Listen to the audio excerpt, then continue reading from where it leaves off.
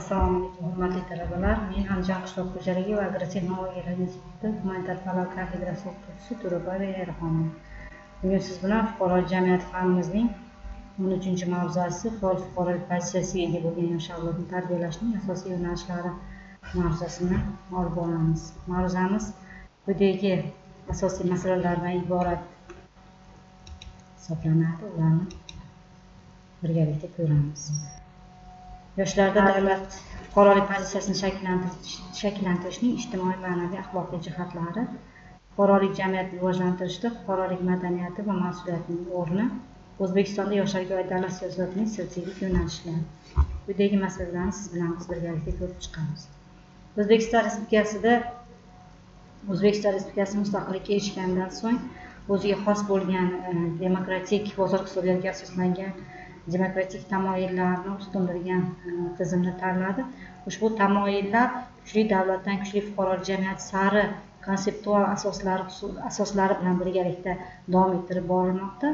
O'zbekistonda e, qabul qilingan e, ushbu tizim fuqarolarning maqsadlari muddaolari insonlarning bevosita jam bo'lib mamlakat davlat va jamiyat ishlarida faol fuqarolik pozitsiyasini ko'rsatib o'zlarining munosib o'rinlarini egallashlari uchun yaratib berilayotgan shart sharoitlardan dalolat beradi. Umuman fuqarolik jamiyatini e, shakllantirishda yuritishda fuqarolarning faolligi bu nafaqat davlat uchun balki jamiyat uchun fuqarolarning o'zlari uchun eng asosiy bosqich hisoblanadi. Ushbu bosqichni amalga oshirishda o'zbekiston respublikasida bir qancha islohotlar amalga oshirib kelinmoqda shu o'rinda sizga e, bir qancha rivojlangan mamlakatlarning e, ushbu tizimni fuqarolik jamiyati tizimini yuritishda va ushbu tizimni yo'lga qo'yishda faol fuqarolik pozitsiyasini shakllantirishda e, munosib o'rin egallagan va ushbu tizim orqali o'zining ma'lum bir yutuqlarga erishgan mamlakatlarni misol qilib keltiramiz. Ulardan biri amerika qo'shma shtatlari hisoblanadi. Amerika qo'shma shtatlarida so'z erkinligi fikr erkinligi ijodiy tafakkur erkinligi juda yam qadrlanadi. Shu bilan birgalikda e, har bir amerikalik fuqarosini fuqarosini tarbiyalashda asosiy e, g'oya yashirin bo'ladi. Ya'ni har bir insonni noyob iste'dod egasi ekanligini ular tan oladi. Va ushbu iste'dodni ro'yobga chiqarish uchun insonga aynan hazrati inson degan g'oya asosida murojaat qilish va qarash g'oyalari singdiriladi. Ya'ni insonlar ma'lum bir e, iste'dod bilan dunyoga keladilar ilohiy kuchlar tomonidan va ushbu iste'dodni ro'yobga chiqarish uchun aynan shart sharoitlar va muhit kerak bo'ladi degan g'oyani singdirishga harakat qiladilar. Amerikada men o'rtamiyona odamman yoki bo'lmasam men men hech qanday e, men oddiy insonman meni qo'limdan hech qanday yumush kelmaydi deb o'zini baholaydigan o'zini kamsitadigan insonlarni uchratmaysiz. Har bir amerikalik o'zini ma'lum bir qobiliyatga iste'dodga ega ekanligiga ishonadi va shu ruhda tarbiyalanadi. Va aynan shu narsa qo'shma shtatlarning rivojlanishi taraqqiyotiga munosib hissa qo'shgan g'oyalardan biri hisoblanadi.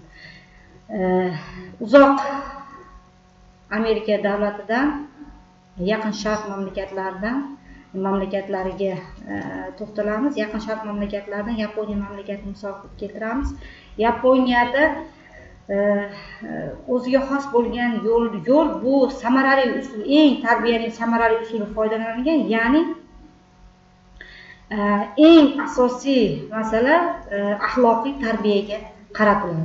Yaponiya ta'lim tizimida axloqiy tarbiya muhim ahamiyat kasb etiladi. Aynan maktablarda ular ushbu tarbiyani berishga harakat qiladilar chunki aynan maktablar insonlarni e, mamlakatda fuqaroligini egallash mamlakat fuqaroligiga tayyorlash va e, ma'nan barkamol qilib tarbiyalashda muhim maskan ekanligi shaxs sifatida tarbiyalashda muhim maskan ekanligini uqtirishga harakat qiladilar aynan shu tizim yapon mamlakatida e, hozirgi kunda mana e, olib qaraydigan bo'lsak buyuk kashfiyotlarni e, qisqa muddatda buyuk kashfiyotlarni amalga oshirgan yapon millatini ko'rishimiz mumkin bo'ladi.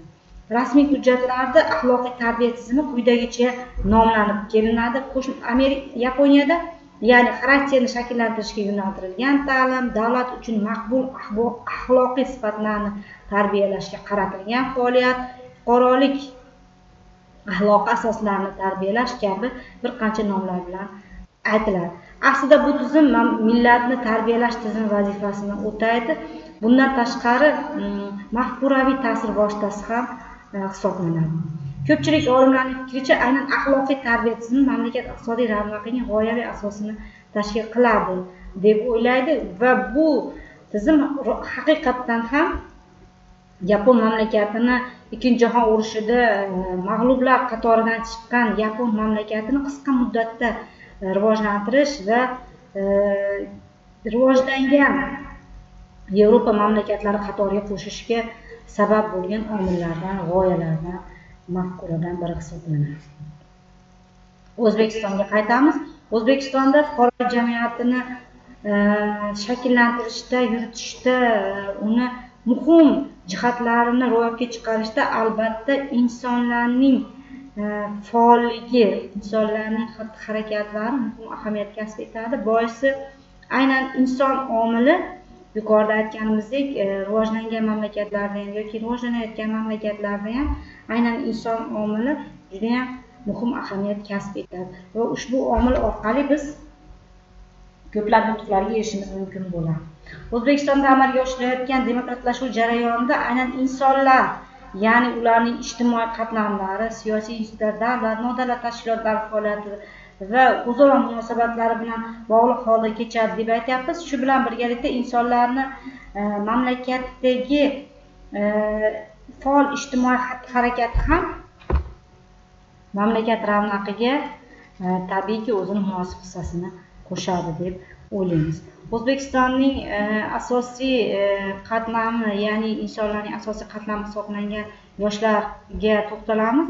O'zbekistonda yoshlarni qo'llab quvvatlash ularni e, ijtimoiy himoyalash ularni maqsadlari muddaolari e, g'oyalarini ro'yobga chiqarish e, borasida e, ijtimoiy siyosiy moliyaviy va bir qancha ko'mak masalalari bo'yicha o'zbekistonda masalalarni ro'yobga chiqarish bo'yicha qonun va qonun hujjatlari qabul qilingan.